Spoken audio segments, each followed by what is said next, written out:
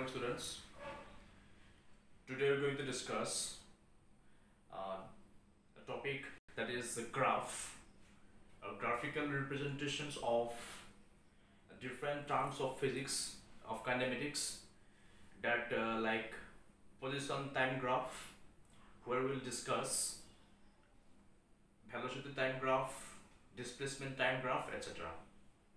About the graph, you have already got some idea in class 9 and 10, basically how to uh, represent a term, two terms uh, in a graph that either you have got in the class 9 and 10 and today we'll try to discuss uh, the graphical systems where we represent different terms of kinematics in a very easy way.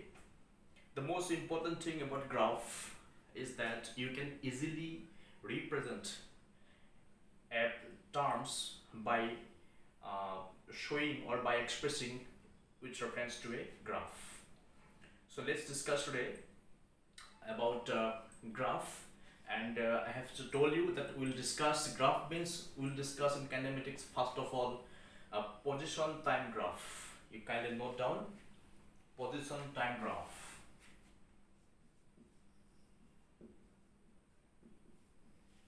position time graph will be our topic today. So what does posi position time graph actually mean for? Position time graph if you see in this kinematics chapter we'll have so many types of position time graph okay? Uh, if I say like displacement time graph is also a part of position time graph.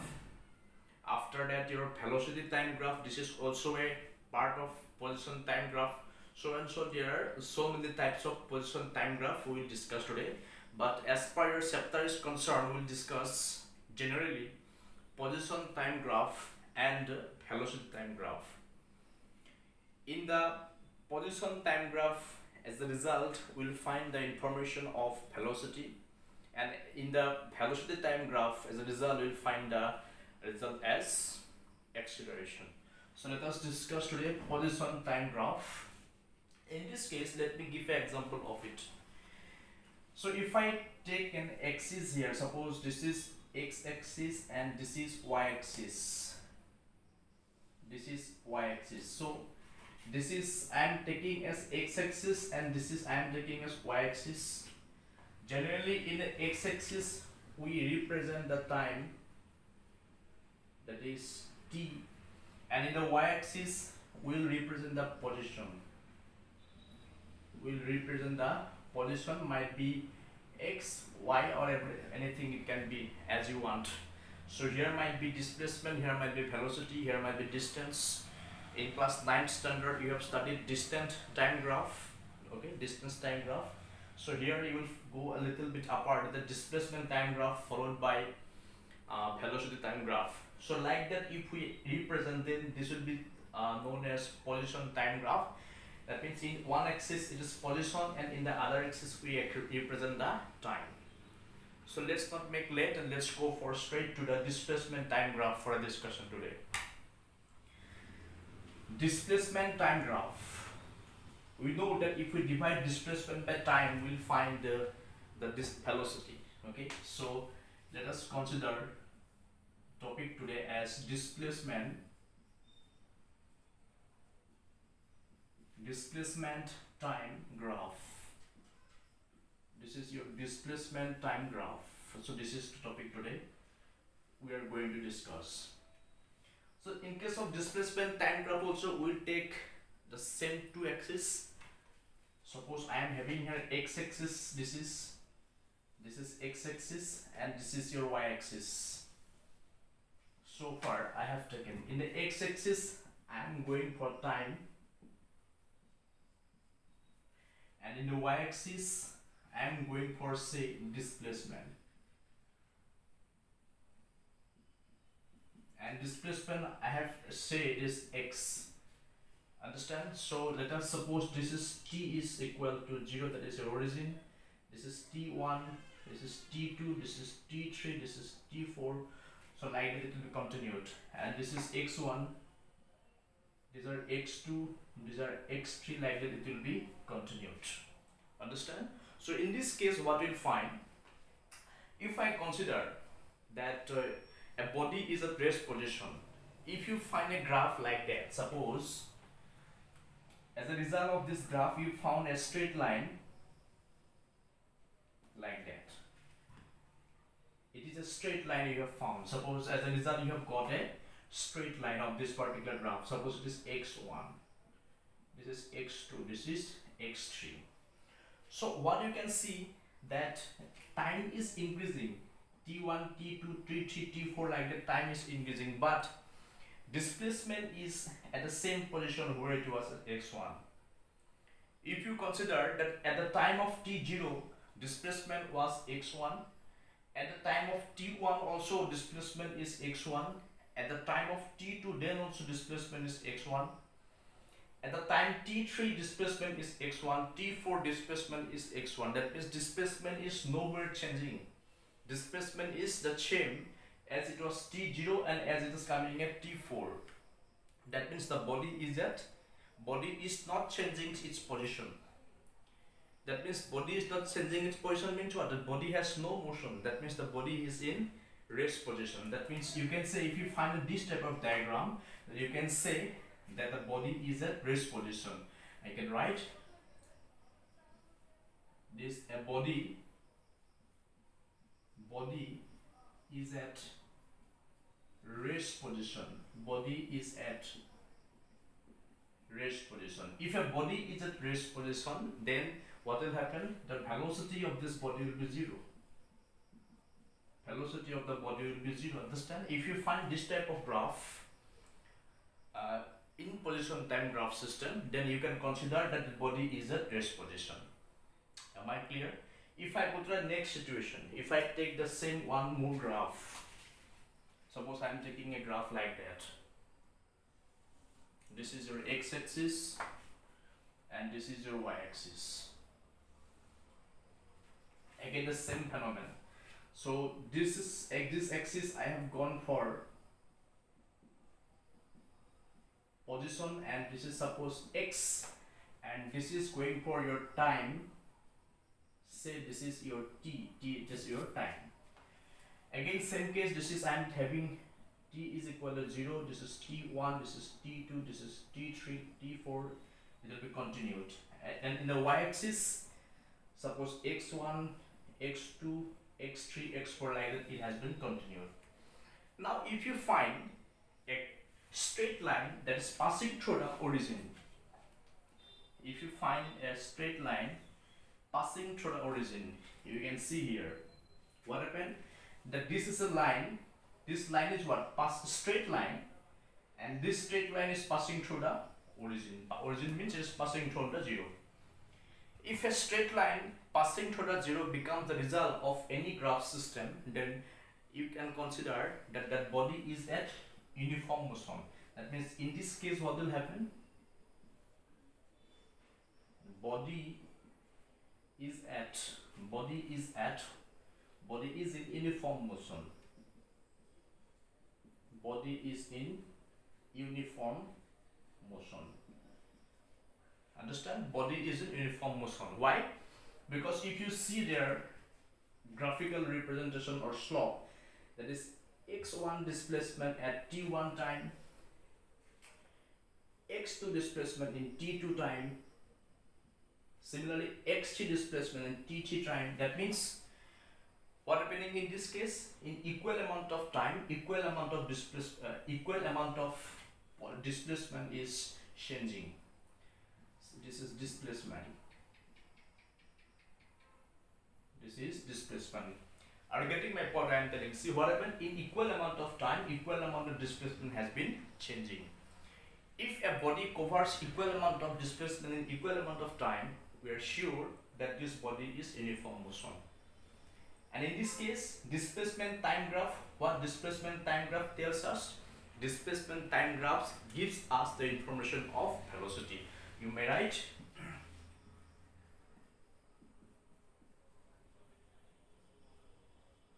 displacement time graph. Displacement time graph give us the information give us the information of velocity information of velocity. So what you can gain from a displacement time graph you can gain from displacement time graph about velocity. Since we know that displacement by time is always equal to velocity. So like that. Now you have find a difference between a body is at rest position a straight line and this is a body that is passing also a straight line but in this case this line is passing through the origin hence as we know the displacement time graph will give the velocity. So in this case velocity is what? Increasing with respect to time in a constant manner. That means velocity is what? Uniform here. Velocity is uniformly increasing. But here velocity is not changing. Displacement is not changing. No change of displacement there is no velocity. That's why here velocity is going to be zero and here velocity is your constant. Understand? In this case velocity is what constant velocity is increasing in a uniform manner. Is that clear? Here no velocity. Velocity is zero only here. But in this case the velocity is increasing in uniform manner. In equal equal displacement is changing in equal time duration. Am i clear? Next you write this particular information that is that is displacement time graph give us the information above velocity. You always remember it now as we found that what type of graph graph will find in case of a body that is at rest position and what type of graph will find in case of a body that is in uniform motion. Now we'll go to non-uniform motion. As you know that in case of non-uniform motion what happen? A body covers unequal amount of distance in equal number of time. Unequal number of distance in equal number of time. So in this case, in case of non-uniform motion, there will be two graph diagram we have to see. Suppose I am considering here two diagram now. This is x-axis and this is at the same time y-axis. Similarly, this is also x-axis and this is y-axis. Remember we are going to have now a body that is in non-uniform motion. So this is the time, this is the time and this is the displacement. This is displacement suppose x. Similarly this is time and this is the displacement this is the displacement suppose it is x now we are going to have a discussion about non-uniform motion as I discussed about uniform and at rest position. Now in case of non-uniform motion there will be two diagrams as I just stated you. So in this case one diagram will be like that and one will be like that. By looking the diagram you can have an Im imagination or you can have an idea what is happening here. So this is t equal to 0 so this is t equal to 0 this is t1 this is t2 this is t3 this is t4 in the this axis x1 this is x2 this is x3 similarly t1 t2 t3 so i'm taking their numerical numbers. Now in this case you can see distance is increasing with respect to time. Sorry velocity is increasing with respect to time. What happening in this case velocity increasing. Velocity increasing with respect to time. And in this case you can see that velocity decreasing with respect to time. Velocity decreasing with respect to time. Have you got the difference between these two diagrams? That in the first case what happening? That velocity is increasing with respect to time and the second case velocity is decreasing with respect to time. Okay, so as you can see that at t1 time displacement is x1 but in t2 time displacement is more than the distance the displacement covered in the t1 time. So this x2 this number of x2 this x2 is more it is not equal with respect to t1 am I clear so time interval is equal but displacement is not going to be same in this case. Okay? So here what? The displacement is changing non-uniformly. Hence the velocity is increasing with respect to time. But velocity is increasing what? In a non-uniform manner. And in this case velocity was increasing in a uniform manner. Equal time equal velocity uh, displacement. But in this case this thing is not happening as you can see. So velocity is increasing with respect to time in this case but it's not uniform manner in t1 it is this much. In t2 it is more. In t3 it is so it is more than this two. Understand that so similarly in this case also here also what happening? That at t1 say at t1 this much of displacement. In t2 the displacement change of displacement is more than with respect to t1 that means rate of change of displacement is not equal in this two slope in t1 time it was something different and in t2 time it is something different. That means velocity is decreasing with respect to time. That's true. Velocity is decreasing with respect to time. That is fine but it is in non-uniform manner. That is why we will say that in this case what you can say that body is in non-uniform motion. What you can you can say this number 3 diagram. Body is in non-uniform body is in non-uniform motion you can write. Again i am repeating you that for a body that is at rest position you will find this type of graph a straight line okay? That means in this case velocity will be zero. Why velocity will be zero? Because there is no change of displacement with respect to time. In the second case displacement is changing with respect to time in equal number. That means in uniform manner. So in this case for a body at rest a body in in order to show that a body is in uniform motion you will have a straight line that is passing through the origin. In the second case third case that body is in non-uniform motion. A body will be in non-uniform motion. Uh, there will be two type of graph you'll find. One graph is this and it is what velocity is increasing with respect to time but in this case velocity is increasing in non-uniform manner.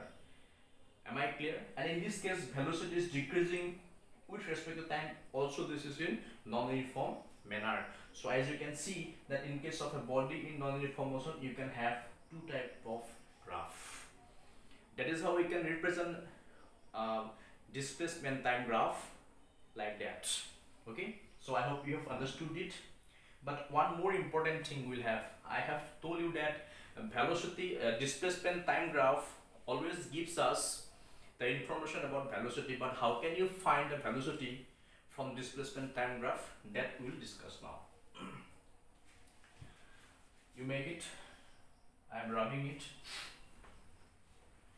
So there is a word in graphical system you know this is slope.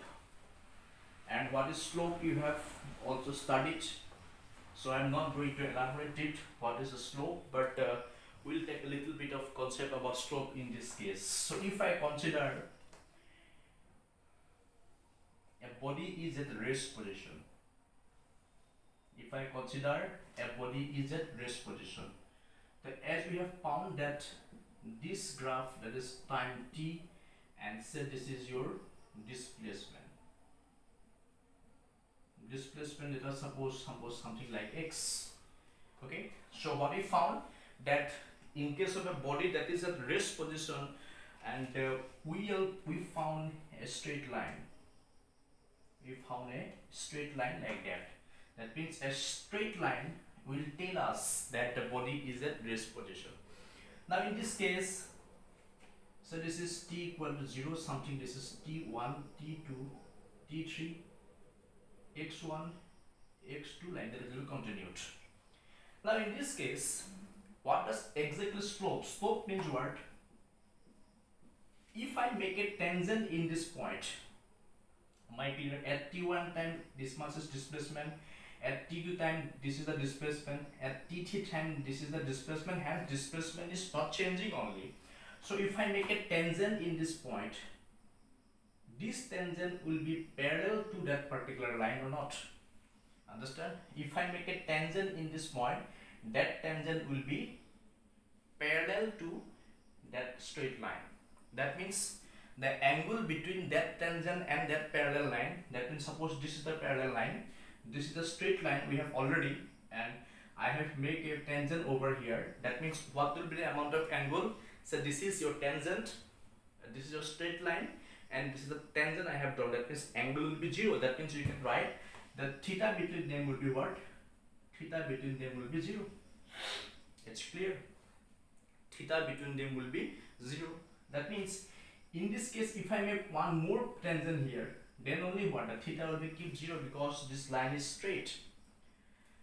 And slope means basically if it is tangent if I make a tangent in this point that is that is how we can find the slope.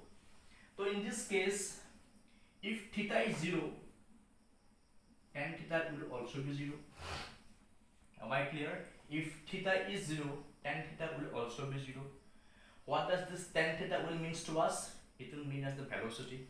If theta is 0 tan theta that is slope is 0 that means velocity is also going to be in this case 0 velocity is also equal to what? 0 in case of body that is in rest position. Have you got a concept now about the slope? That means we make a what? Tangent on that particular point. You will better understand the next diagram. If i take the next diagram as well. Next diagram means if i take a body that is in uniform motion. If i take a body that is in uniform motion. Uniform motion means body is covering equal amount of displacement in equal amount of time remember? And what will be the representation? It is like a straight line that is passing through the origin. T equal to 0 t1 t2 t3 so this is x1 x2 x3 like that that means what happening you can find if you find this type of diagram you can say that a body is a uniform motion. Now in this case if I go to find out the tan theta that is the slope remember this is now similar case I will I will draw now some tangent over this point suppose T1 is a point okay T1 is a point we have considered and uh, T2 is a point I have considered. So, like that you can consider T3, T4, T5 as much as you want. Now if I make a tangent in this point, so if I make a tangent in this point, what will happen? This will go like that or not. If I make a tangent in this point like that, then angle will be what? Theta. Are you getting my point? In this case, the angle is zero, but in this case, not zero see this tangent is making an angle with this base that is 0 theta.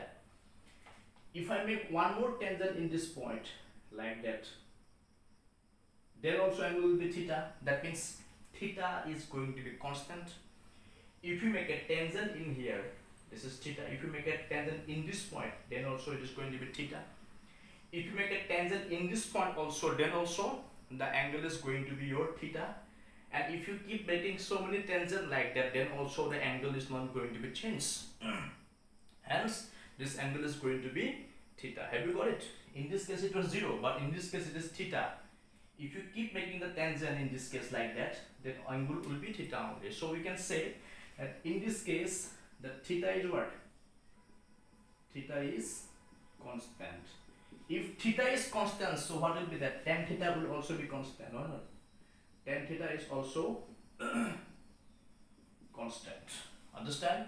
If tan theta is constant if you consider this is to be a triangle if you consider this one as a triangle so if I find a tan theta from this triangle what will happen? Tan theta is what? Perpendicular upon base. So this is perpendicular and this is base. If I join this one perpendicular is this much this is t2 and this is x2 so this is 0 that means I can write x2 minus 0 divided by t2 minus 0 okay what the result will come out from here. So tan theta is equal to finally x2 by t2 where x is the displacement and t is the time. That means displacement by time is equal to velocity. That is how we can find the velocity by making slope am i clear? By making slope. Slope is nothing. We are making some tangent in some particular point. That is the concept of the making the slope. Or how can you find the velocity from a displacement time graph? Understand this point? You have to make a slope as you have just described am i clear? Next in case of a body that is in non-uniform motion we have to make a diagram already for a body that is in non-uniform motion. Let us see what type of slope we can find in the body that is in non-uniform motion we have already made a diagram of graphical representation of a body that is in non-uniform motion so if I consider if I consider here the two diagram which we have already drawn. This is y-axis and this is similarly y-axis so this is your time. This is your time. This is the displacement. This is displacement is x. Again same thing this is the displacement. That is x and time is t this is t equal to 0 these are t1 this is t2 this is t3 similarly to this t equal to 0 this is t equal to 1 this is t equal to 3 this is x1 this is x2 and so on. Right now we are discussing for a body that is in non-uniform motion. That means we found two type of graph. One was like that. Sorry.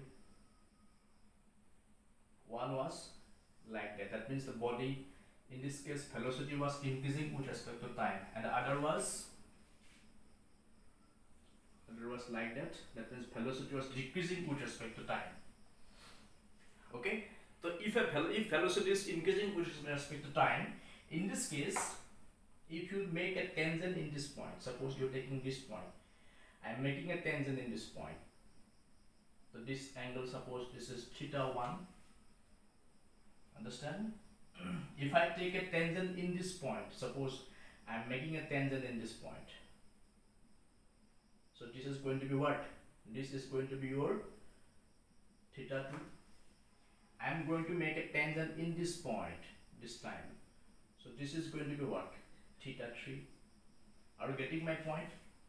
I'm, I'm considering some point and I'm making the tangent in order to find the slope so in this point I am making a tangent this is making an angle theta 1 in this point I am making a tangent this is making an angle theta 2 in this point I am making a tangent that is making suppose an angle theta 3 so what you observe in this case we can have an observation that theta 1 is less than theta 2 theta 2 is again less than theta 3 that means gradually these angles are increasing theta 1 then theta 2 increasing then theta 3 is increasing. So what do you mean theta 2 is increasing? That means tan theta is increasing.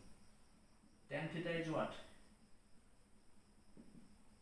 Increasing. Tan theta is increasing means velocity is also velocity is also increasing. Understand? Velocity is also increasing that is the slope in case of a body that is in non-uniform motion but velocity is increasing. Okay? But in the next diagram in the next diagram if you make a tangent in this point suppose i am making a tangent in this point. This is the tangent i am making here. This is suppose theta 1 now i am taking at this point here. I am making a tangent in this case. If i make a tangent in this case this tangent will be what? This tangent will create an angle like that and this angle suppose theta 2 if I make a tangent in this point suppose so this will make an one more angle that is also going out of it. Okay suppose this angle is your what? Theta 3 are you getting my point? I am making tangent on this thing. See these are tangent what I have done, I have I have done ten, making tangent in this point. Suppose this angle is theta 1 I'm making a tangent in this point, I'm getting angle theta 2. I'm, angle, I'm making angle tangent in this point, I'm getting theta 3. So if you keep making the tangent in this case, then what will happen? Theta 1 will be greater than theta 2 or not? Theta 2 will be greater than theta 3. That means what happened? That theta 2, theta 3, these all are decreasing. That means theta decreasing means what? Tan theta is decreasing. Tan theta is decreasing. And once tan theta is decreasing means your velocity is also velocity is also decreasing. Understand? This is how we can find the slope over it. Am i clear? So i have just given an idea about the slope of these things i just practice at home any doubt inbox me or you can personally ask me I'll try to clear it out but this is the basic concept of graphical representations in case of two, uh, two, any two terms in kinematics. I hope you have got these things. For any further problems just uh, inbox me so that I can uh, identify your doubt. Okay, for today, thank you so much.